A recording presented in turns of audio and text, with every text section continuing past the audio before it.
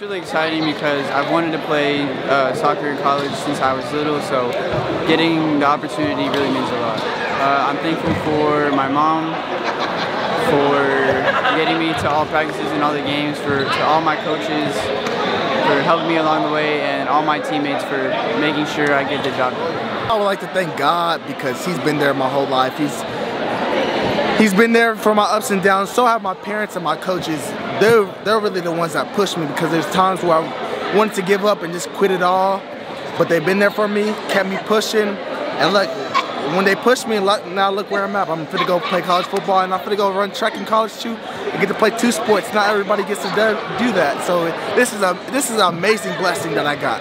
I'm really excited to go play football at the next level. It's a whole other level of sports, a whole other level of competition. I'm excited to go out there and compete, show everybody what's uh, what can happen from Saginaw, and show them that uh, Saginaw is legit. Uh, well, first and foremost, I want to just thank God for giving me the, uh, for blessing me and giving me the opportunity to go ahead and uh, continue my academic and uh, football career uh, at Cisco College.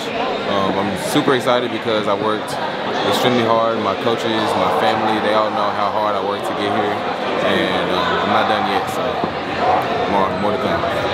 Really excited to go bring my talents to um, outside of high school and club and bring it to college. And uh, I'm really excited because it's a bigger opportunity to expand um, the level which I play at and the players that I'm getting to play against and uh, how difficult it'll be on me, but it'll be a good learning experience and help, hopefully make me a better player. Yeah, I want to thank uh, all my coaches that I've had throughout my years, uh, especially my dad, Coach Yoakum.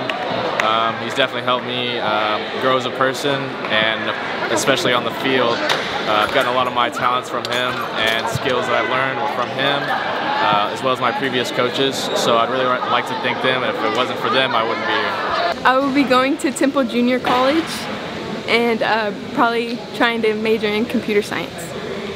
Uh, I'm so thankful for all my family, my teammates, my coaches, everybody who has helped me be the player and person I am today. Um, I'm really excited to play volleyball at the next level because I just really enjoy the sport and it's really fun. It's like a nice like release of stress and I'm really excited to be able to play with one of my best friends.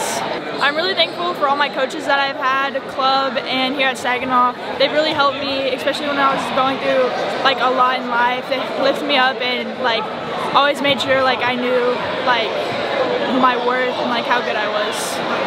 Uh, I'm thankful to all my coaches, of course, that pushed me to help me become the person and the player I am today. Obviously, Coach Crawford um, and then my 360 coaches, and I'm thankful for my family, my mom and dad, and then just my friends that are on the court and off the court for supporting me through tough and good times.